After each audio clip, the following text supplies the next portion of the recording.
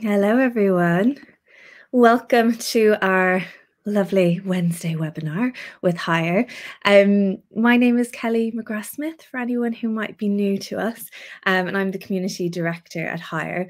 Um, HIGHER is a global TA and HR community. We've got over 11,000 members globally at the moment um, and growing, which is fantastic.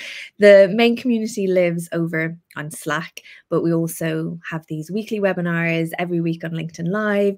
We have in person events, we have online roundtable events. Um, so lots of good stuff if you are working internally um, in HR or TA we like to see ourselves almost as the hive mind of global TA and HR as well. So part of that is being on a bit of a mission to up level and upskill the industry, which is one of the reasons why we love to host these weekly webinars to have fantastic folks from in the community jump on with us, share their insight um, and intel in terms of great topics that we want to chat through.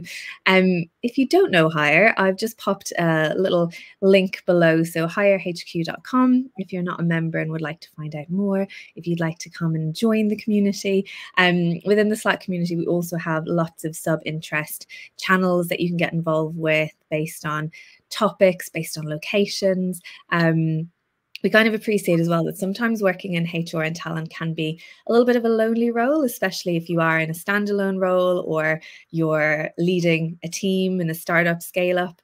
Um, so it's a good opportunity to be able to connect with peers and you know ask any questions that you might have about you know what's going on in your organization. Um, or if you're out of work as well, we have um, channels where we share roles, um, which is you know really really great at this time as well.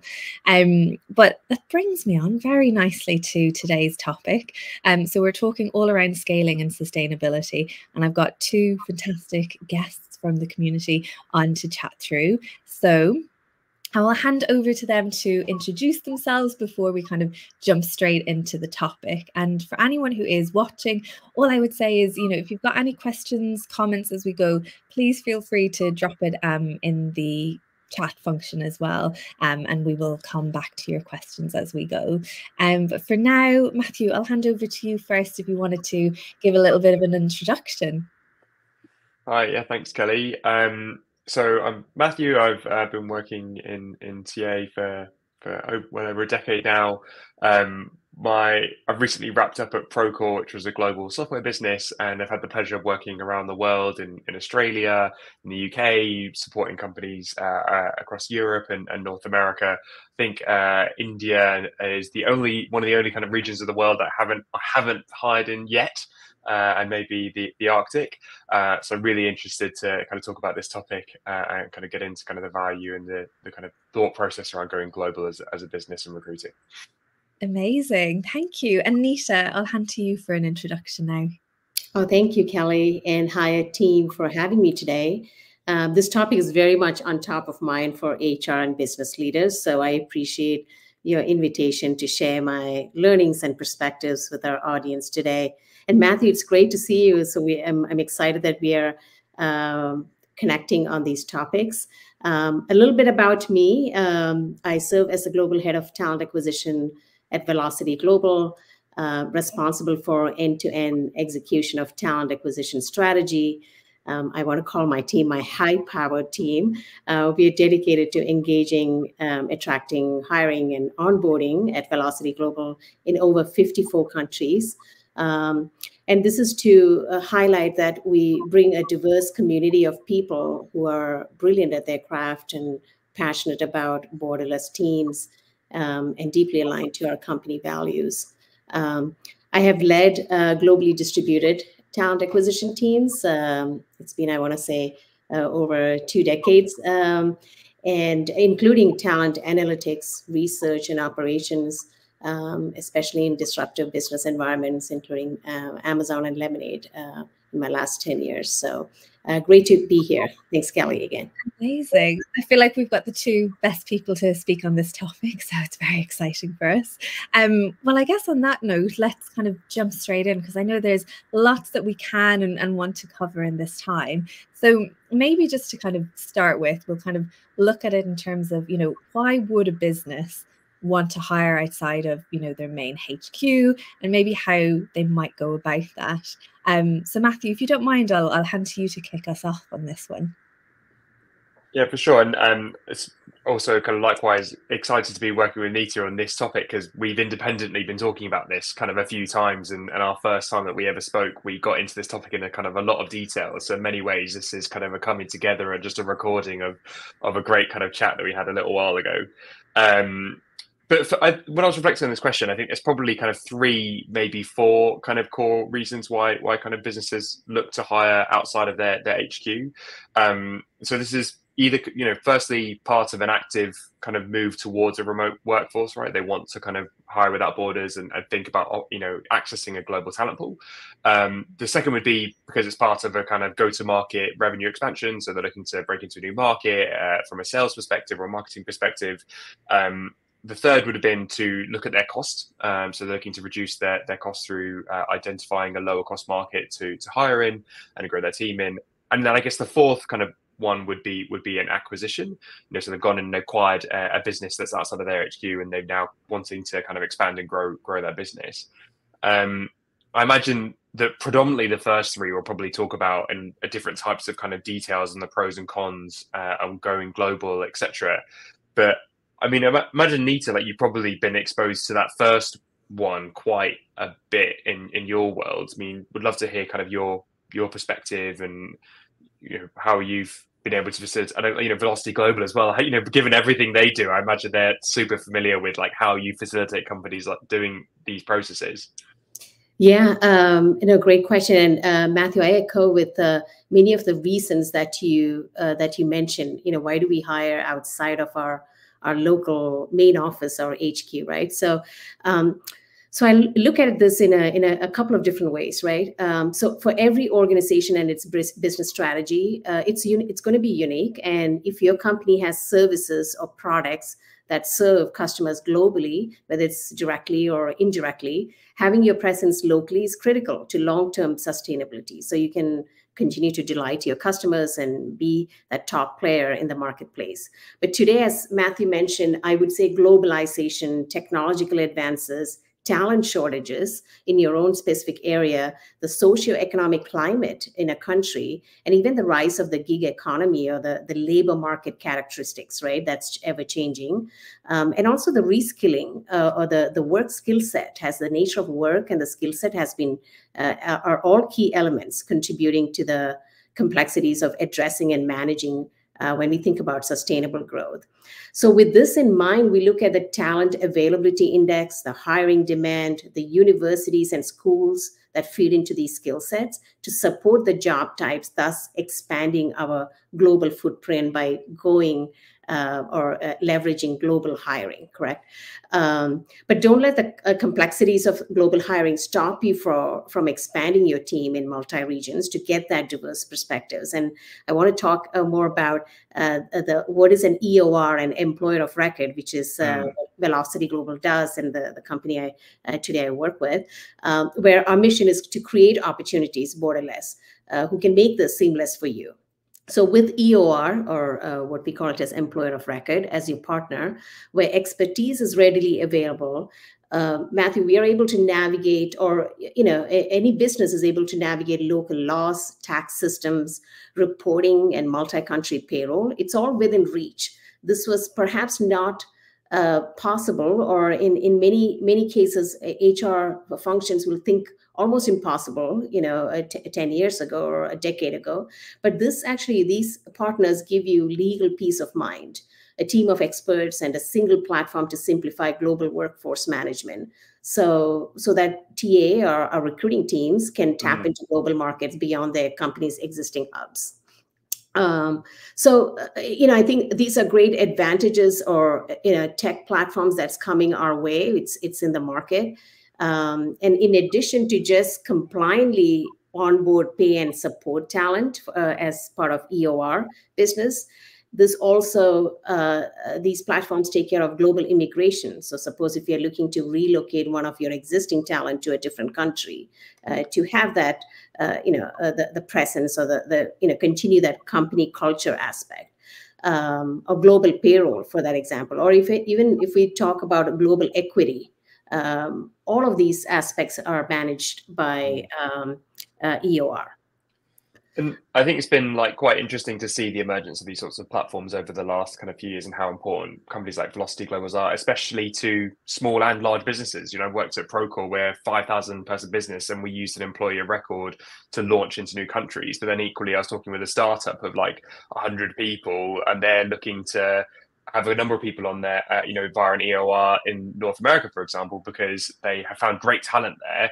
They're in the process of relocating, but because they in you know in, in North America you've got two week notice periods they can start really soon which is super impactful to the business. Um, and they wanted to get them on board and started straight away so they used an employee of records so like it's I would really advocate for considering the role of an EOR and not, this isn't kind of some sort of advert for it but I, it, they're super important as part of the conversation around globalization and they're one of the many tools in the HR like kind of toolkit for um, for our kind of global global expansion.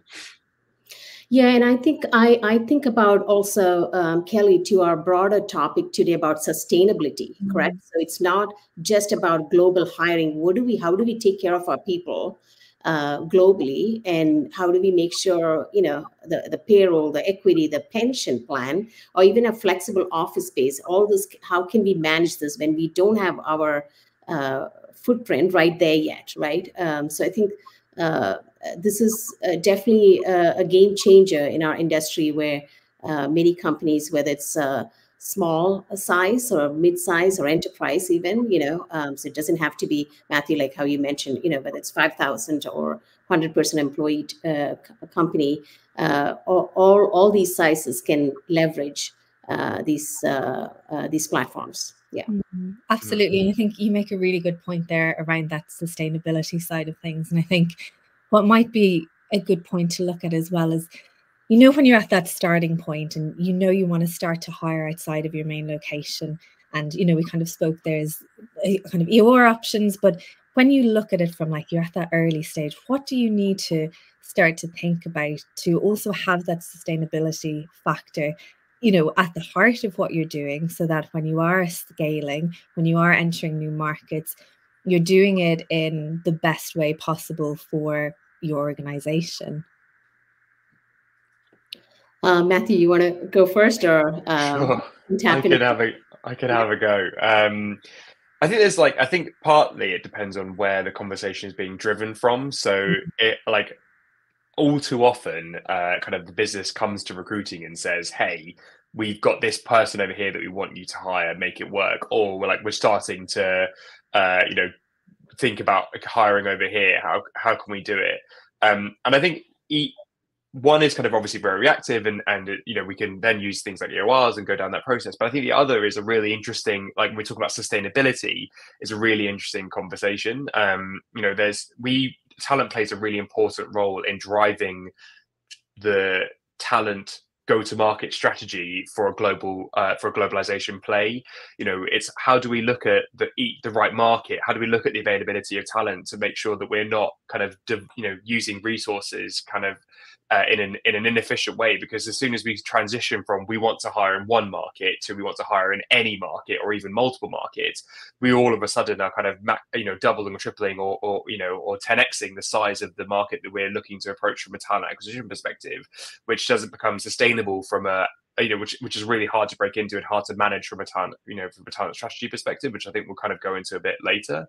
Um, but importantly as well, it's you know, is there a coherent strategy all the way through the business. You know, it, it has HR been brought into the conversation? Are the business leaders and their managers uh, who are going to be managing people in different countries aware of kind of what they might, you know, are they kind of on top of what should be expected in hiring a remote employee that might come from a different place that might have a different language that you know different working hours etc what is the expectation and i think it's important to bring together hr as one voice in these conversations to say look, these are all of the kind of things we need to consider before we make a snap decision. And all too often, we see businesses at lots of different sizes going, snap, let's we want to mm-hmm. hire in this country all of a sudden, um, or we want to hire, you know, we want to go fully remote, and we saw that during COVID. But the repercussions of that can be quite severe. Um, so it's important to come into it with, yeah, with one voice. What what would you say, Neeta? You know, I, I no, I, I, I agree with you, and and I you mentioned uh, the word uh, reactive, uh, and I want to connect that to today. There are many platforms available, right? To for us for TA to be reactive. Hey, can you go find talent in a certain country where we have where the business has not been operating, right? So it's very much easier in terms of access. Mm. To that talent, but I want to, uh, yeah, uh, uh, and I I want to come back to the the the comment you made about you know do we have all the players to make this a, a thoughtful strategy right?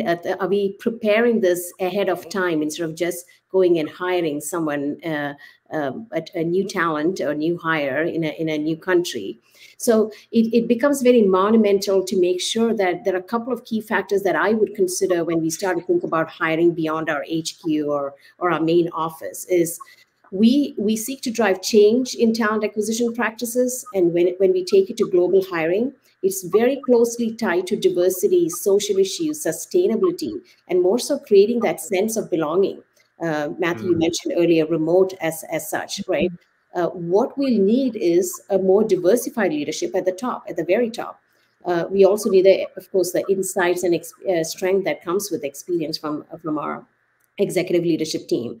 And I think the second piece is about culture, a strong workplace uh, workplace culture, because um, I look at it as employing those with different backgrounds and in in let's say in life expertise and career spe- specialties. Positively, yes, of course, it contributes to a healthier culture. Um, and you know, as TA professionals, recruiting can be very intentional and purposeful.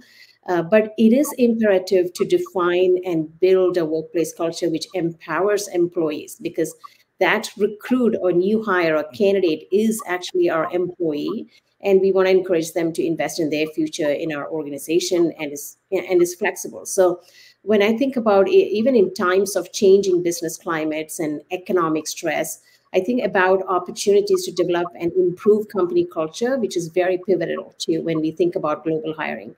Uh, and it'll definitely help us overcome unexpected challenges and success long term. You know, how are we making sure that uh, our employees have the uh, the, the career development and you know in, in many ways they also are looking for uh, fulfillment right so what can the company or what can our organization or the business um, offer our uh, new hires I like that term intentionality. Like it, it, it's so easy to fall into a trap of like trying to hire your first person, trying to reduce your costs somewhere, expand into a new market, and if your culture isn't built with a remote mindset uh, and you know, people aren't aware of how they might need to change their behaviors, I, I joke about this quite a lot. I used to, I used to, I've worked in many US based businesses, and I was mm. often in one of the first cohorts of their hires outside of their outside of the US and they would have European based conversations to talk about the EMEA strategy, but they do it at 9 p.m. at night when they were all free, but 9 p.m. my time.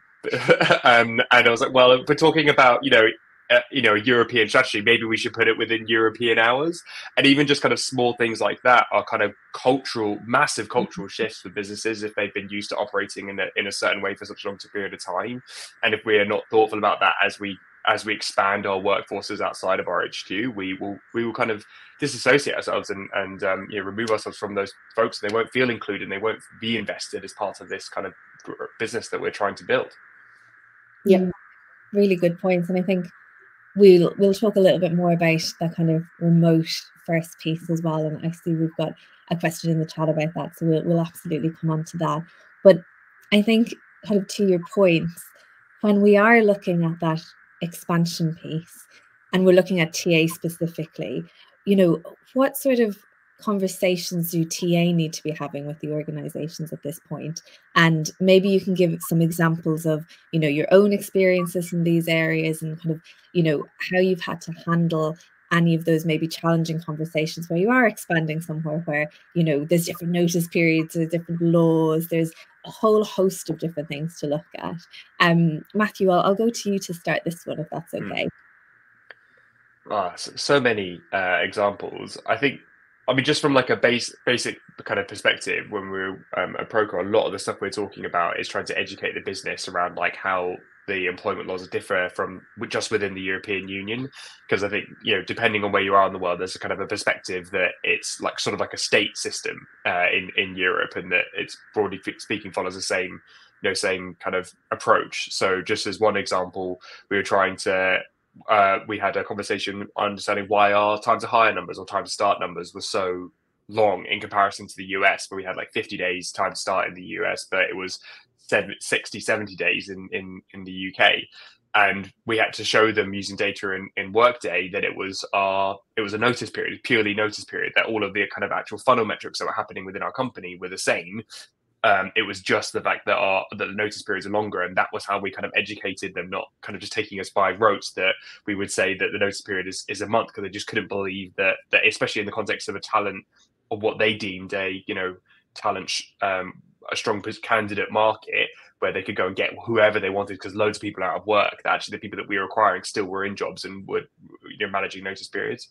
I think the kind of the other you know really interesting example about this is when we're picking new places to expand into from a talent perspective. So, for example, a really attractive, um, you know, reason why you, especially US-based businesses, look to expand outside of the US is because the talent is cheaper in to hire software developers, right? Like software developers is the most expensive place in the world to hire software developers in, you know, the you know San Francisco, you know, on that on that Pacific coast in, in the US, right? So soon, even if you look at London, all of a sudden you're like, you know, two thirds of the cost to hire a software developer, and that's in London. And then if you start to go into continental Europe, you're starting to look at you can hire three or four software developers for one software developer, and then so how can talent acquisition play that? So we, you know, talent acquisition played an essential kind of part of what you know which countries should we be looking at for this? What where how are we set up as a business to be able to enable this? What are the kind of peaks of using an employer of record? We had i think 20 or 30 people run through one employer of record and that was really tough and that was kind of the maximum that we could manage in that one country at the time um, based on that you know because of that relationship with that eor and so it, we had to present to them a full detailed strategy of here are the markets that we currently have operating. Here are the kind of salaries and the kind of the pros and the cons of each market and be part of that conversation to help them make a decision on what the right strategy was for their expansion outside of the us and i think that's an exa- you know I can go into that in a bit more detail, but it's a really good opportunity when we're doing these expansions for TA to sit in the driving seat um, and in the context of the HR voice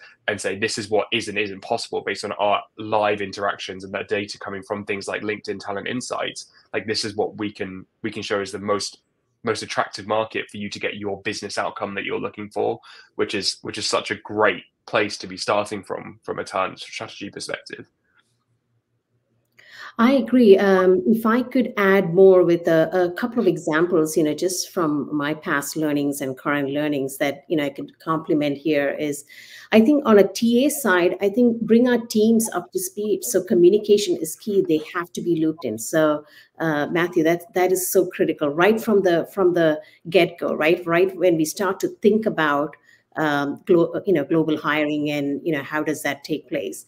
Um, i know today uh, at velocity global we are starting to think about going beyond that san francisco market for our product and technology hiring you know uh, uh, to, to broader markets. So what that means is of course you know we use certain tools including linkedin talent insights you mentioned that earlier um, again based on that talent maturity in an in a location of course the cost uh, cost per hire applies the cost of you know managing these employees that that that matters too right? Uh, and it's uh, what what in fact has created is that it's created us uh, opportunities in additional countries beyond the us so multi-continental to achieve our uh, whether it's a product enhancements or new future uh, roll, future rollouts, um, and also reduce time to hire by 50%. Um, but uh, to this extent, you know, now we are experts in this field, right? So we look at when we are expanding, we are also thoughtful about, okay, what are the legal and compliance uh, pieces that we need to look at?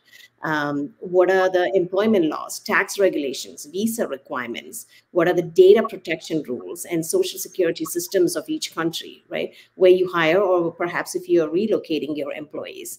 Um, so many aspects from a legal and compliance issue aspect, like what we think about.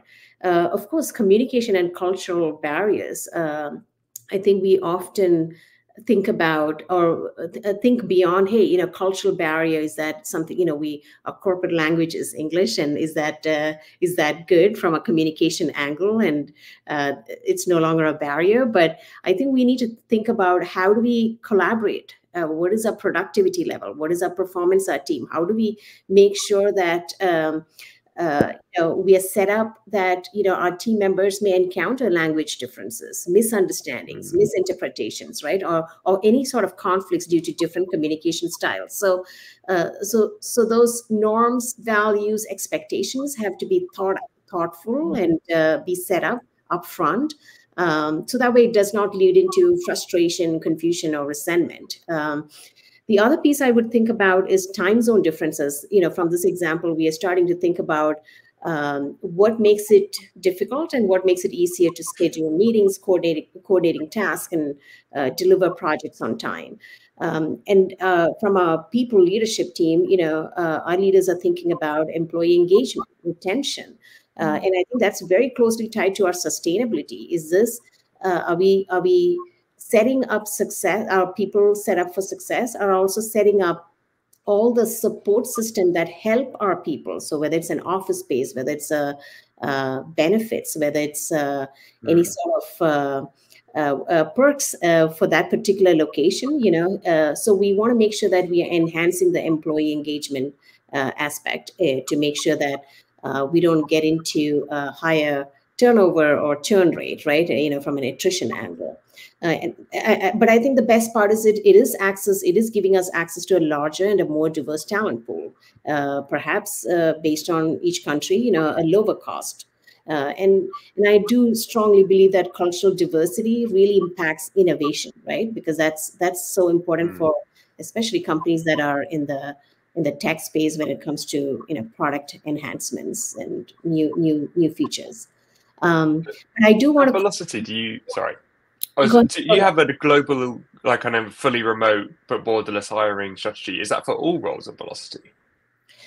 I, I would say we're, we're starting to think about so you know uh, I know uh, Kelly you mentioned about remote first mm-hmm. workplace and I want to just start off with that and then talk about uh, the job families that may not have remote or that may that may not be 100% remote maybe it may suit at a hybrid uh, or or maybe it's on site you know uh, for, for, example so but we we look at a logic of when when we start to think about um, we have several skill sets right? Different job families where our employees work in, in any of these sort of work models what we call it. But the competitive advantage for any company is not exactly the work model setup it is more along how do we set up our talent in this digital world when we are all connected let's say via slack or any of those are inter-messaging tool? How do we work the root causes rather than just the barriers? So it's not just removing barriers. We want to make sure the root causes are addressed. Then how do we create a networking culture alongside an innovation culture? So it's not just about um, you know we are here to build something innovate or, or, but how do we make sure that that sense of belonging is there for each and every member whether they are in the head office or hq or in a remote office uh, or a remote location so to speak. Um, so to your question matthew i think we are starting to think about you know there are some job families or there are some types of skill set and work that may not uh, make it more uh, long-term sustainable when we are not able to meet with each other or when we are not able to have that in-office collaboration. Yeah so things like sales and potentially even but uh, would be one that you would probably have a hybrid or at least an in-office kind of environment but then software development sounds as like you're expanding that out to be kind of more of a, a borderless structure. That's correct. Yes yes. Um, and we will continue to uh, sort of monitor what works and uh, so we don't have that uh, defined rule as to hey every every job family you know we have multitude of skill set uh, is not following exactly what works for each work models and each job family could be totally unique to to the type of work that is uh, that is being done. Um, and i also look at it as um, it, it's going to come with some challenges, uh, but it's also going to give us more benefits on for both employers and employees. Uh, again, back to that earlier point I said about diverse talent pool and lower cost and cultural diversity mm. innovation. Yeah. Mm. Yeah. It kind of brings us to um, Shakira's question that um, they posted earlier, just saying what are the key challenges faced by employees and employers in adapting to remote work? And how can these challenges be overcome? So maybe if we just kind of touch upon that one as well while while we're in this space um, if we're looking at it from you know like a, pure remote remote first um, those challenges um, maybe Neeta you can kind of kick us off with this one from your perspective. Yeah i think we have to be very thoughtful. So i want to uh, talk about from an employer aspect we have to be thoughtful when we are entering a new market let, let it be a location or country you know however we decide right there are uh, several uh, several angles you know different options you could look at uh, from a TA angle, you know, since we are responsible for hiring, we could look at an RPO model or a PEO, which is a professional employee uh, uh, organization, right? Um, and, uh, P- and and also EOR. So there are uh, three larger brackets or groups that I look at. Um, RPO is for uh, is probably perhaps most beneficial if you um, if your business already has an entity in the country where we are going to expand our hiring, and thus um, uh, they're going to recruit uh, RPO models are going to just attach to our in-house talent acquisition, and they would uh, help us with accelerating that our recruiting presence and talent attraction pres- presence whereas PEOs mostly handle the HR functions for businesses that already own entities in that specific location or that country. And the big piece on the EORs is we employ workers on behalf of their client companies without requiring our businesses to open an entity. So if you do not own an entity in, let's say, in um, in India where you want to employ someone, you need an employer of record and not a PEO. So that's a uh, that's a that's a difference that I would think about for the employees. Uh, Matthew, do you want to uh, take on that? You know, what are the things that we challenges that we see, mm. and I can add to some of the pieces. I think we talked about that slightly um, before. In, yeah. In yeah. I'm gonna I'm gonna end with asking a question that will probably uh, lead on to this nicely. But I, from a I mean um, from an internal perspective, if you're looking to hire full time employees, you know I, I my personal kind of perspective is that we should be coming into it and really pushing hiring managers to have quite a strong perspective on the location strategy. You know, for all the reasons that we've we've mentioned, right? Like if you're building teams that are split across multiple offices, um, and they're kind of you know then it will make it harder in some respects for them to manage, or they have to be more intentional with how they manage and support those teams, depending on what their location is. And if you're managing a team that's predominantly London based, for example, but then you have you know four people in another country, how are they going to feel kind of re, you know siloed if they're if they're not kind of connected, and how are we going to support that team, um, especially if there's kind of a hybrid office kind of relationship.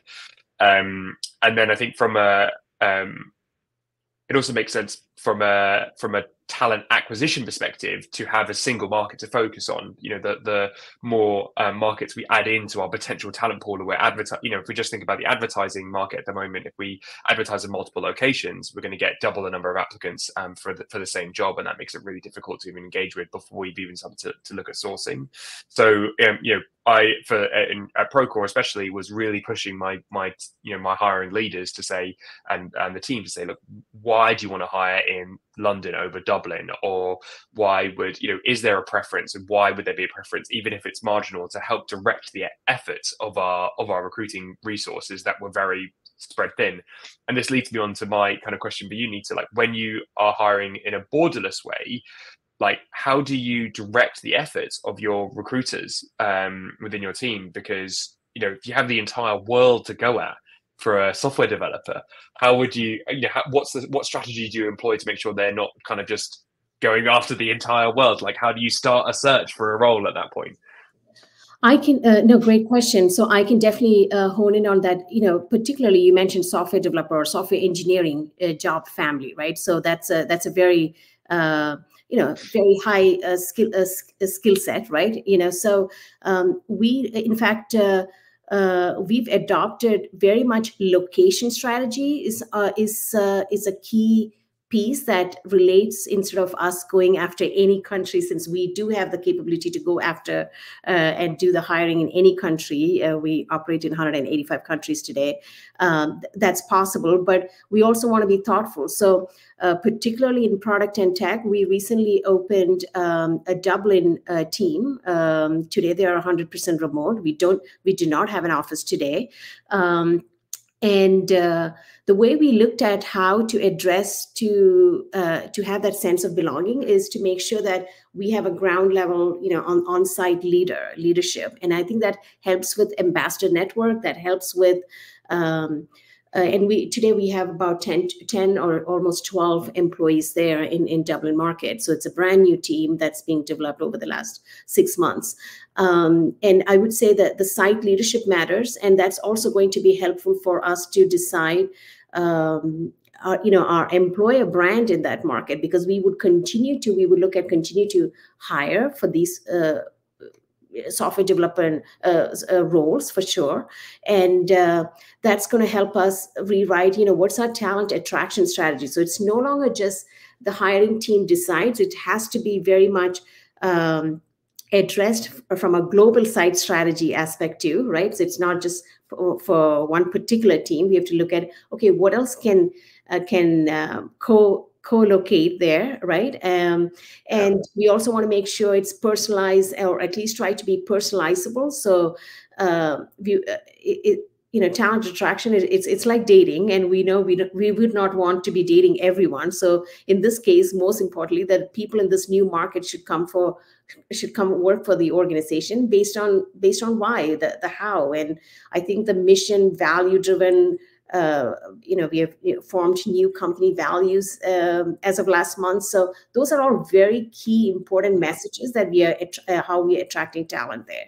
Um, so, you know, I would say uh, location strategy is it's a much more uh, thoughtful process rather than uh, let's go pick any location because then we are creating uh, to your yeah. early point silos you know maybe one or two people in in certain countries and that's not going to be sustainable yeah I completely agree. I'd love to i love you know even when we have the opportunity to hire anywhere in the world kind of the question is you know should should we and how how should we? And i love you know we use the idea of a hub and spoke model at procore that was really successful. So we had core kind of operational entities that we would then support smaller businesses that were either eors or kind of um, uh, entities that we had no more than kind of 10 15 people attached to it and that was quite successful. So we had a bigger office that had a really strong culture attached to it and then we'd fly people to and from these smaller kind of spokes um, which is quite a common model of expansion.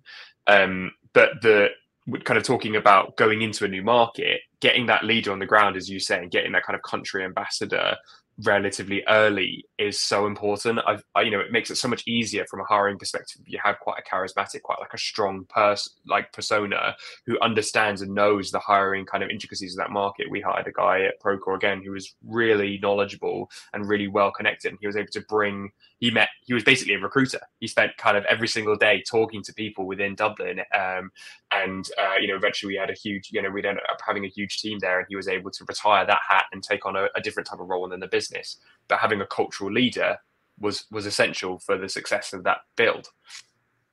In, yeah, that's that's so true. Even in our space here, and uh, I remember in um, in my previous organization, in a large tech organization, where we actually failed in in one of the the uh, the global hiring expansion. We um, so in this at Velocity Global, we we do expect our site leaders to be ambassadors as well, because we also have to think about how does this uh, location continue to sustain or continue to grow? So we have to think about you know universities or schools relationship with you know just the local market. How do we become, play that corporate citizenship uh, when it comes to how do we give back what, what are what is our responsibility in terms of creating jobs um, referring to a previous organization that I worked with in a large tech setup where we expanded to a certain city in Italy to expand our speech scientist job family. I clearly remember that we actually used the tools. We, we had the tools to go quickly hire. We did uh, amazingly, uh, you know, we had the talent acquisition team. We, we hired uh, close to about 16 applied scientists and research scientists uh, rather fast uh, in about three to six months. Um, and I remember uh, we we did uh, we were very challenged because we were not prepared uh, to face when when COVID hit us because this was a new location and we completely lost contact with a lot of you know the communication channels were lost when we couldn't support this uh, set of you know 16 member group um, uh, when when there were challenges socioeconomic pieces that that came up uh, you know. So yeah. i think it's very vital for us to be very thoughtful instead of saying hey i can go hire anywhere um, and we can do that because yes we probably have an entity there but think about what are the support systems that will help us and set up our employees uh, for success can't agree more like especially when business leaders like uh, CROs or technology leaders. It's like, well, well, we've got the entity. Why can't we just you know, put someone there? We're like, you know, we've got EORs elsewhere. Why can't we just you know hire that person? They're really good. Um, and if you don't think about all of these other like what they would seem see as red tape HR kind of admin, end up becoming like, really important because it's there for if if anything breaks, or if anything changes, and we've got to support. Like we've got to be thinking of people first, and you know, and making sure that they're well supported and have really kind of com- compelling, you know, infrastructure behind them. Otherwise, they'll they'll be unsuccessful, and it'll be kind of a, a kind of a, a loss making endeavor for the business, which happens all too often. I would say, you know, a good chunk of, of international expansions that I've I've observed have had significant issues in that expansion process that have ended up, you know, being a loss making endeavor. And it's probably because the business wasn't well prepared to go into that market when they when they started to. They didn't understand exactly what they were getting themselves into before before they before they put boots on ground. One of the big use cases that Velocity Global uses in the, in our EOR space, uh, many clients come to us primarily for that reason because um, you know some of them expanded on their own and they didn't realize um, there are so many other pieces that we need to look into it. It's not yeah. just and making the hire. How do we actually yeah. ensure we can continue to have our presence there? Yeah.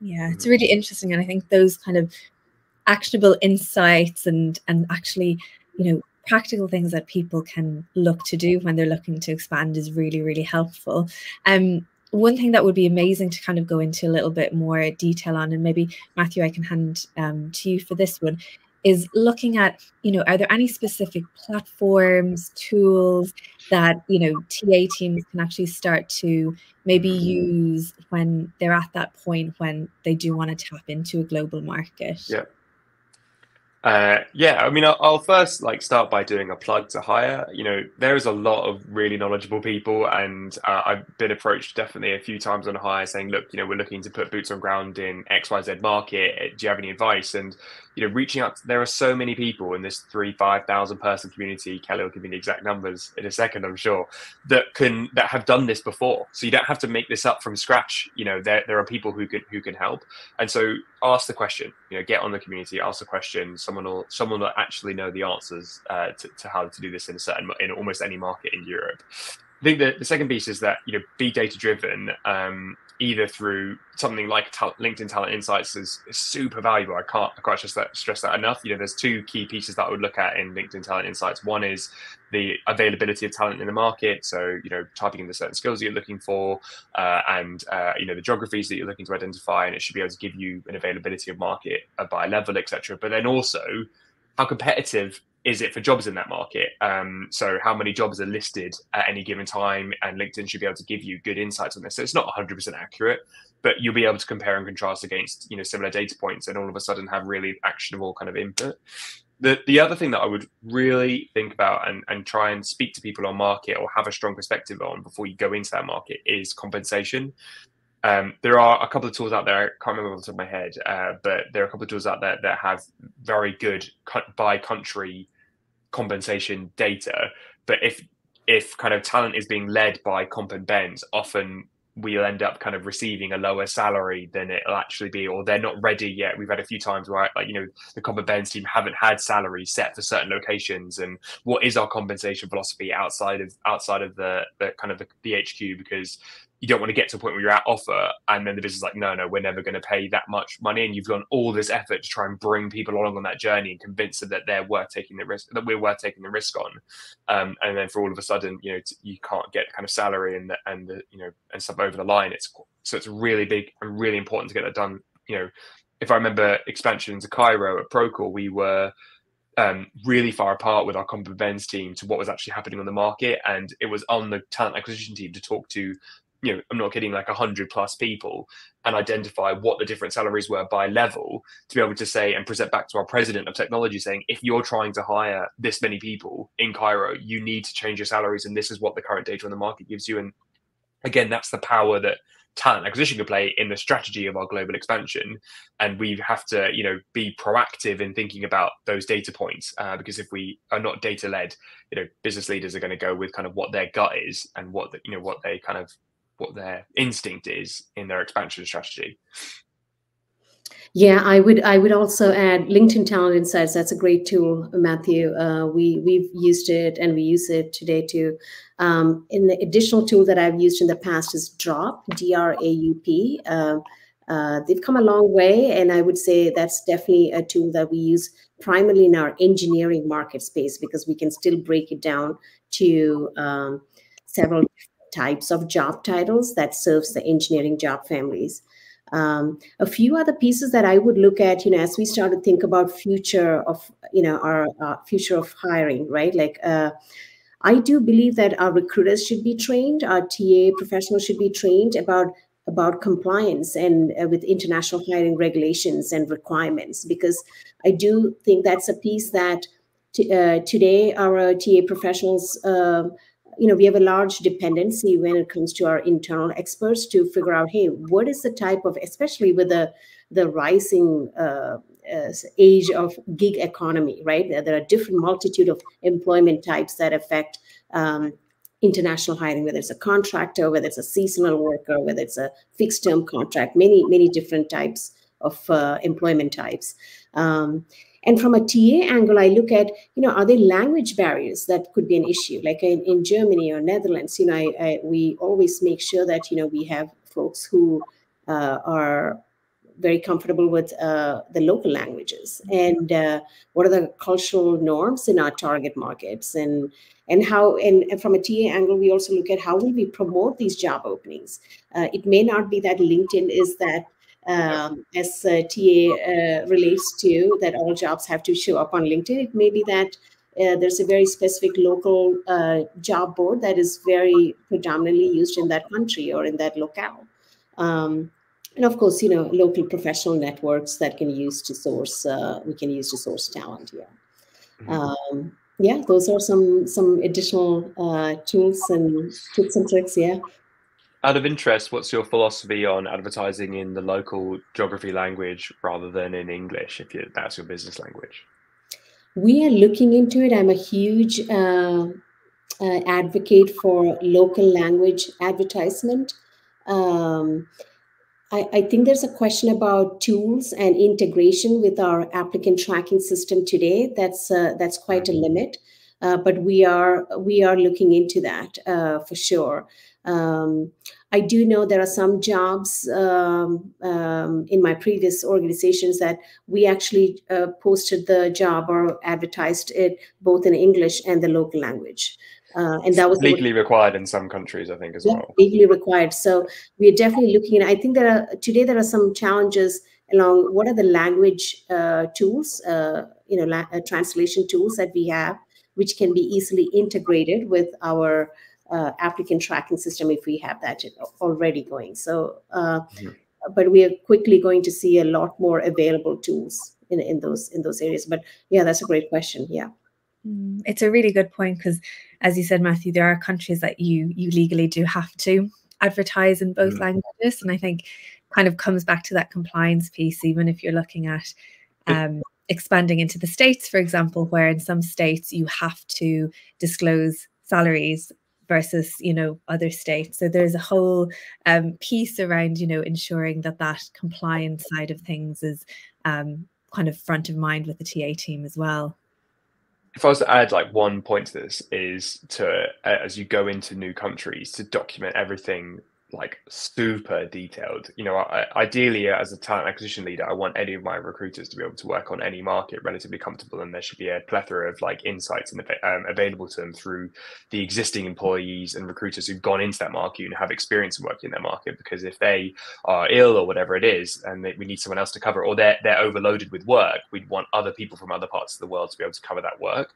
Uh, and if it's not documented, if they don't know how to kind of manage an offer or how to or what the regulation and rules are, there's not a cheat sheet on how to hire in, you know, France versus the US. You know, that's on us as kind of recruiting organizations to ensure that that's our responsibility. We need to make sure that that's really well documented, and it's also just good kind of practice. So, as if you're doing this for the first time now, and it's something that's on your cheat sheet, or you don't have it documented already, I would it's would say it's probably one of your top top next tasks. Yeah, I love that. Almost just creating that that playbook for folks in the business. Um, on your point around compensation and benefits, what I'll do after the webinar is I will link to two of our previous webinars. So we've done one specifically around comp and ben, but also last week um, we were looking at unlocking success with hypergrowth and we had um, the cpo of ravio on the call talking around compensation philosophy. So i will link those after um, just i was going to say on the show notes. It makes it sound like i'm running a podcast. Um, but i'll link them below for anyone who wants to kind of revisit and do a little bit more of a deeper dive into the comps and ben side of things. Um, we're almost at time. Is there any kind of I guess, parting words of wisdom or advice that we haven't covered from that kind of expansion piece, that practical side of things for any kind of TA and HR folk that are maybe at that early stage who are who are watching today? I mean, I can jump in and say global hiring is inevitable. It is it is happening. We need to embrace it. Um, it, it, creates that sense of uh, it addresses inclusivity. Uh, it's it was spoken in our large uh, in, in our last World Economic Forum, uh, the future of hiring. The global hiring was a key topic uh, for many of the leaders there. Uh, the sustainability aspect is let's be more thoughtful uh, because in sustainability is very tied to how we prepare in order to make sure that um, these locations where we've hired continue to grow if that's that's our business strategy yeah Yeah, couldn't agree. Couldn't agree more. Uh, you know, it's going to be part of every recruiter's job to hire in multiple countries in the coming years. Um, but it's also, you know, in this time of uncertainty and you know the role of talent acquisition in businesses, a really good opportunity for us to be the value add to the business, right? To help drive some of the strategy, to not just be a reactive kind of taker of of of requisitions and requests it's to be able to help drive our business strategy forward and help build a better business. And and and as a result we can have you know a longer lasting impact and and a better seat at the table for when kind of changes happen amongst the company. So you know uh, embrace it it's going to happen. And and let's use, use this as an opportunity to really kind of position ourselves as strategic advisors. Amazing. Well it's been brilliant having you both on. I think there's been lots of amazing insights and, and nuggets that we've got through in this conversation as well. So really thank you so much for your time because I know, you know, it's it's a lot of time talking. We've gone deep into the subject. Um, but for anyone who is watching, um, just in terms of next week, like I said, we have these webinars every Wednesday, same time, same place, unless uh your time zone hasn't changed. I know it hasn't changed in the US this week, so it's it started at 9 a.m. San Fran Cisco time instead of 8 a.m. this week. But next week, um, we've got a webinar all around inclusive hiring. Um, and we've got Danny joining us, who's going to talk around ways to minimize bias in hiring. So that will be at 4 o'clock UK time and then back to 8 a.m. Um, PST time as well. So do join us then if um, if you would like. We'll also have everything on a replay as always. So if you ever miss a webinar or you ever want to go back and rewatch, sometimes you might want to take notes. There's a lot of um, great insight that does come out of them. Um, and like I said, just in terms of HIGHER, um, we are a global community. We've got um, 11,000 plus members at the moment and growing, uh, which is great. But um, you can head on over to hirehq.com um, if you would like to join us. Like I said, we've got lots of extra conversations going on inside the Slack community, but we also run in person events, we run virtual roundtables, um, as well as our webinars and podcasts. So there's there's lots going on, um, no matter kind of what stage you are at in your kind of HR um, and TA journey. We have things for you know individual contributors, contributors all the way up to um, our executive community as well. Um, but on that note, thank you both so much uh, for joining us. And um, I'm sure we'll be seeing you and talking to you soon. Um, and have lovely rest of your Wednesdays. Thank, thank you. Pleasure being so much for having us. Thank you. Bye. See you later. Cheers. Bye.